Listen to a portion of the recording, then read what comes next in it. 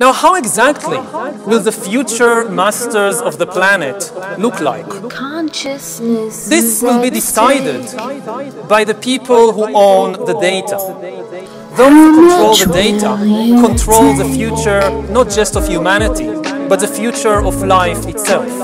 In the last two centuries, machinery replaced land as the most important asset. And if too many of the machines became concentrated in too few hands, humanity split into classes, into capitalists and proletariats.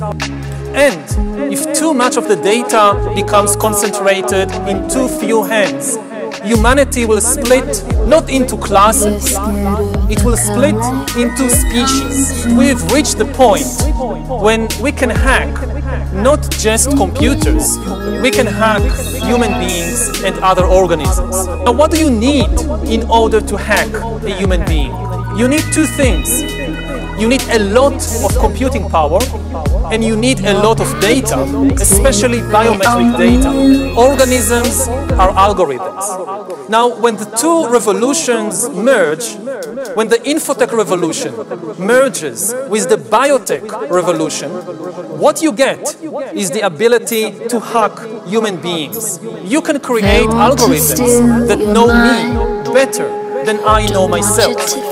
And humans really don't know themselves very well. In 10 or 20 years, when an algorithm can tell any teenager exactly where he or she is the algorithm tracks your eye movements, your blood pressure, your brain activity, tells you are. And even if you walk away, and even if you keep hiding from your classmates or from yourself, you will not be able to hide from Amazon and Alibaba and the secret police. Once we have algorithms that can understand me better than I understand myself, they could predict my desires, manipulate my emotions, and even take decisions on my behalf.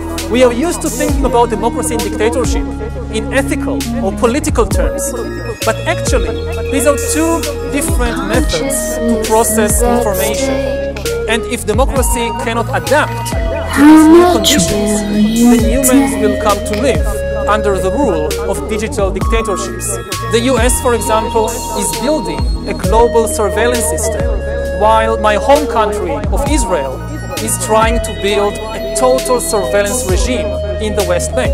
By hacking organisms, elites may gain the power to re-engineer the future of life itself, not the intelligent design of some god above the clouds. What are you gonna do?